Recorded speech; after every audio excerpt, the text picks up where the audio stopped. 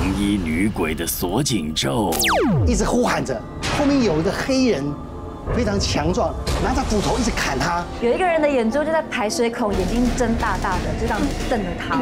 镜子上的那块玉镜已经掉下来，镜子里面的那个红红衣服的女生正在掐他的脖子。哇！